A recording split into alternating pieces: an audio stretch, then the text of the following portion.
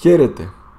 Ονομάζομαι Στέλιος Πανταζής, είμαι γιατρός, είμαι εξειδικευμένος στην ιατρική διατροφολογία και στις διαταραχές του μεταβολισμού και σήμερα θα ήθελα να μιλήσω για τη Β12 και μάλιστα για τα επίπεδα της Β12 που είναι ιδανική για το αίμα και πώς τα διερευνούμε και αυτό μετά από πολλές ερωτήσεις που έχω δεχτεί σχετικά με το θέμα μέσα από το κανάλι αλλά και από πελάτες που έρχονται στο γιατρείο.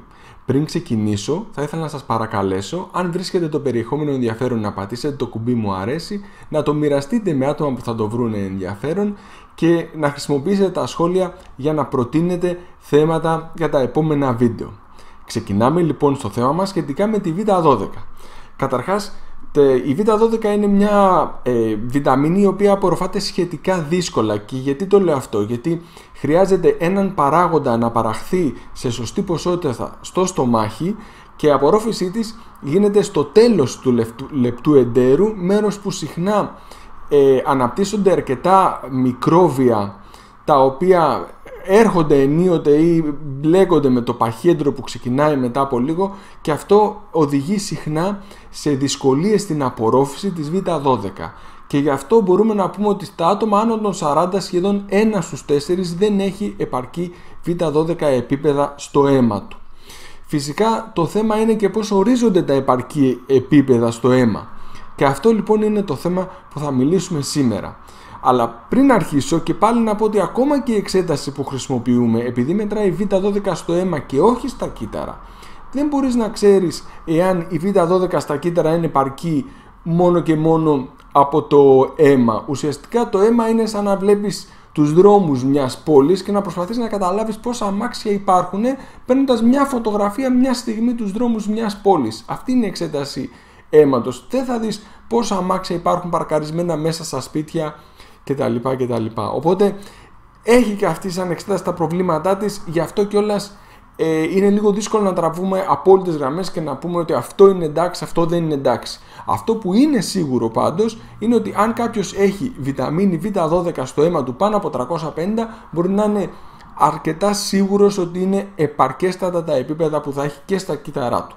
Επίσης, αυτοί που έχουν κάτω από 250 πρέπει να είναι αρκετά σίγουροι ότι υπάρχει πρόβλημα, ότι η Β12 που είναι στο αίμα τους είναι χαμηλή. Πρέπει να προχωρήσουν σε κάποιες αποφάσεις, κάποιες κινήσεις. Τώρα υπάρχει ένα μεγάλο μέρος του πληθυσμού που υπάρχει στην κρίζα ζώνη 200 με 350. Ας πούμε λοιπόν ότι έχετε κάποιος και έχει μια απάντηση ανάμεσα στο 200 με το 350. Τι μπορεί να κάνει; Η πιο απλή λύση είναι να ξεκινήσει να παίρνει συμπληρώματα διατροφής Β12, αυτά που θα βρεις στο φαρμακείο, τα πιο απλά, τα πιο οικονομικά και να παίρνει τρεις φορές την εβδομάδα. Θα παρατηρήσει ότι οι δόσεις που υπάρχουν στα φάρμακα σε σχέση με αυτές που συστήνονται είναι μέχρι και χίλιες φορές παραπάνω, οπότε το πιο πιθανό είναι παίρνοντας μια ταμπλέτα τρεις φορές την εβδομάδα, Δευτέρα, Τετάρτη, Παρασκευή, μετά από μερικές εβδομάδες να δει σημαντική αύξηση. Αν δεν δει σημαντική αύξηση, θα πρέπει να ψάξει το λόγο και σε αυτό θα περάσουμε σε λίγο. Μια άλλη προσέγγιση, πιο επιστημονική αν θέλετε, είναι να ψάξει να βρει αν φέρει πίν το, το, μια μέτρηση στη ζώνη 200 με 350 είναι όντως επαρκής για το σώμα του. Άρα μπορεί να κάνει το εξής: Μπορεί να ξεκινήσει να πάρει φιλικό οξύ για μερικές εβδομάδες, 3, 4, 6 και μετά από αυτό το χρονικό διάστημα να μετρήσει την ομοκυστεΐνη. Η ομοκυστεΐνη είναι μια μέτρηση που μπορούμε να κάνουμε στο αίμα η οποία αυξάνεται όταν έχουμε έλλειψη φιλικού ή β12. Άρα λοιπόν παίρνοντας φιλικό οξύ φροντίζει να, να μην έχει έλλειψη σε φιλικό οξύ και μετράει την ομοκυστεΐνη. Εάν η ομοκυστεΐνη είναι χαμηλά τότε σημαίνει ότι η β12 δεν επαρκεί και πρέπει να πάρει συμπληρώματα Β12. Φυσικά κάποιος θα με ρωτήσει γιατί να μπει σε αυτή τη διαδικασία, άρα εκεί θα έχουμε και το, μια έξτρα πληροφορία, την ομοκυστεΐνη, που είναι σημαντική. Αν η εξέταση ομοκυστεΐνης είναι κάτω από 15, τα εργαστήρια τη δίνουν φυσιολογική, αν και η αλήθεια είναι ότι ιδανικά πρέπει να είναι κάτω από 10. Δηλαδή η περιοχή 10 με 15, ναι μεν είναι αποδεκτή, αλλά σίγουρα δεν είναι ιδανική. Ε, τώρα τι γίνεται σε αυτή, αφού έγινε αυτό το πράγμα, πήρε συμπληρώματα διατροφής, εκεί πρέπει να δούμε ένα πράγμα. Ανεβαίνει Β12 με ταμπλέτες Β12. Αν ανεβαίνει σημαίνει ότι η απορρόφηση είναι εντάξει. Αν δεν ανεβαίνει, τότε σίγουρα θα πρέπει να μπει σε μια διαδικασία να αναζητήσει γιατί δεν ανεβαίνει η Β12 μετά από συμπληρώματα διατροφής. Όχι μετά από ενέσεις, μετά από ενέσεις και να μην δουλεύει η απορρόφηση θα ανεβεί. Αυτό είναι σίγουρο. Μιλάω συγκεκριμένα για ταμπλέτες.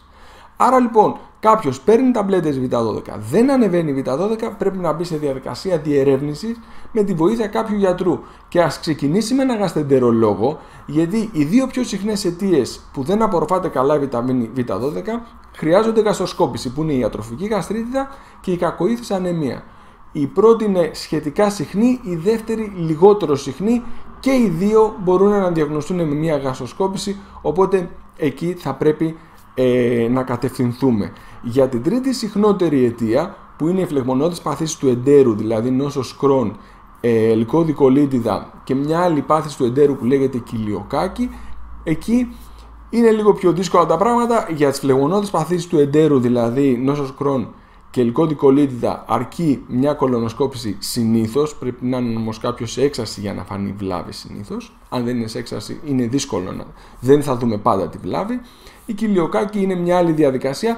Πάλι συνήθως με τη βοήθεια ενός γαστρεντερολόγου μπορεί να γίνει η διάγνωση αν υπάρχει κάτι τέτοιο. Από εκεί πέρα υπάρχουν και άλλες αιτίες που συναντάμε σπανιότερα όπως να υπάρχει διαταραχή στη χλωρίδα του εντέρου, ε, διαταραχές του αμνοσωπητικού όπως ο λύκος ή η νόσος του Graves, κάποια αυτοάνωσα νοσήματα που ευτυχώς δεν είναι πολύ συχνά. Ε, πάρα πολύ συχνό αίτιο είναι η μείωση του pH του, του στομάχου με φάρμακα. Άρα λοιπόν μπορώ να πω ότι τουλάχιστον οι μισές περιπτώσεις που έχουν χαμηλή β12 είναι άτομα που μακροχρόνια παίρνουν φάρμακα για το στομάχι που μειώνουν το, τα, τα οξέα του στομάχου όπως το Lozec, το Nexium, το Condroloc, το Pariet, παλιότερα Zadak κτλ. Ε, τέλος κάποια φάρμακα για το ζάχαρο επίσης μειώνουν την απορρόφηση της β12 όπως ε, η μετφορμίνη που κυκλοφορεί με την εμπορική ονομασία γλυκοφάς, γλυκοπλάς κτλ. Φυσικά όλα αυτά ε, εννοείται ότι κάποιος τρώει ζωικά προϊόντα γιατί τα άτομα που δεν τρώνε ζωικά προϊόντα, αυτοί που είναι vegan, εκ των πραγμάτων πρέπει να παίρνουν β12 και αλλιώς είναι αδύνατον ε, να καλύψουν τις ανάγκες τους. Αυτά λοιπόν για τα επίπεδα της Β12 και ποια είναι η φυσιολογική, τα φυσιολογικά επίπεδα στο αίμα και πώς μπορούμε να τα διερευνήσουμε. Σας ευχαριστώ πολύ. Καλημέρα σας.